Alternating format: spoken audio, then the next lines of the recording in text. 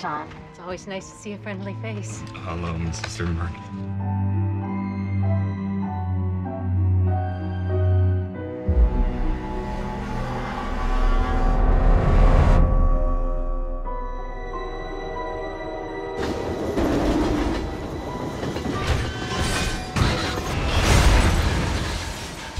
Oh my God! Are you all right?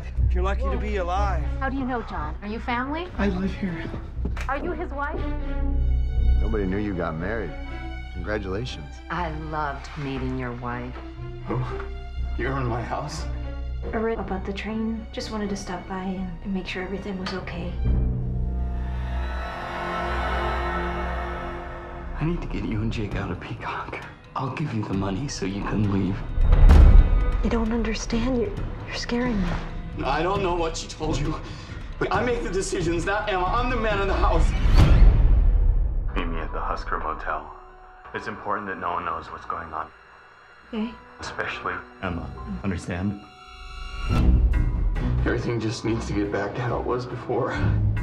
She made him do horrible things.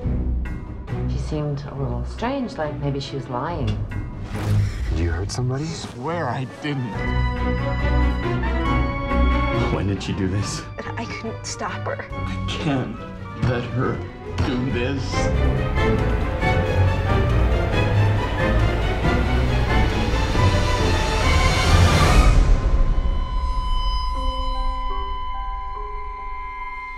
John, you have a phone call. I think it's your wife, Emma.